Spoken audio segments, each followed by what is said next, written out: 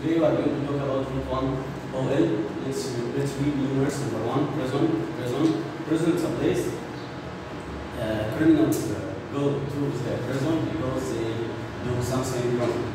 Number two, feed. Feed means to give food to someone.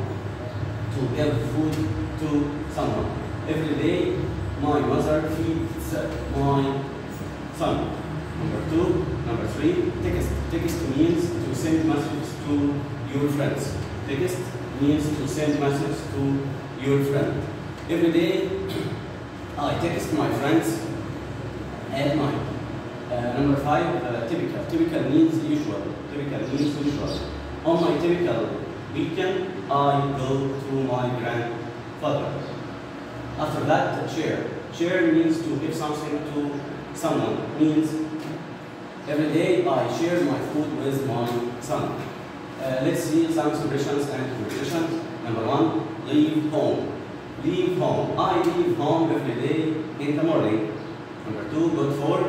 Uh, milk is good for me. After that, uh, take away. Uh, every day I take the rubbish away. After that, on my way home. Every day on my way home, I buy some groceries. The last one, uh, water plants. Water plants here as a verb. The farmer waters his plants every day in the field.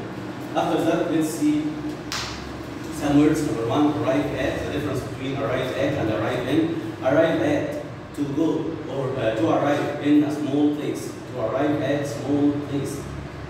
I arrive at my school at 5 o'clock. Arrive at, but arrive in means to arrive in big places like countries and cities. Uh, it equals uh, get to, get to means to arrive in or at.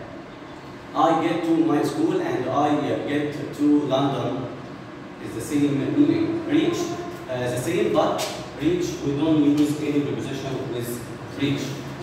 After that, let's see our grammar. Number one, uh, present simple. Present simple, we use the present simple to talk about facts, habits, and daily routines. Again, we use the present simple to talk about facts, habits, and routines. We, we talked before about this uh, tense, uh, but let's see. Number one, Ali lives in Giza. This sentence refers to a fact. Number two, uh, she watches TV at night. It refers to a habit. After this, they usually sleep early, and this is a daily routine sentence. But uh, pay attention, Ali lives, we put S to the verb. Uh, she watches, we put E, So uh, with, uh, with pronouns he, she, it, as we said before, we put S, E, S or I, E, S. But in the plural pronouns or the plural noun, we put the verb in the infinitive. Uh, let's see if we want to make a negative form. Uh, number one, we don't listen to music. So we use don't with plural pronouns. Omar doesn't get up at 7 o'clock, doesn't plus infinitive.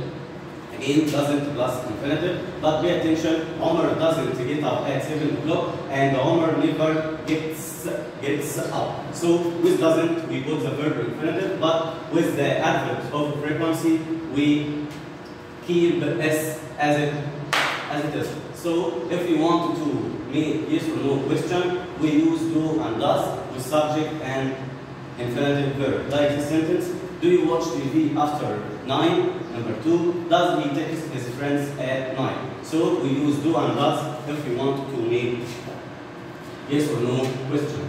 If we want to make double H question, we use a double H plus do or does plus subject plus verb infinitive. Like this sentence, number one, what do they do every day and where does Ali park his car?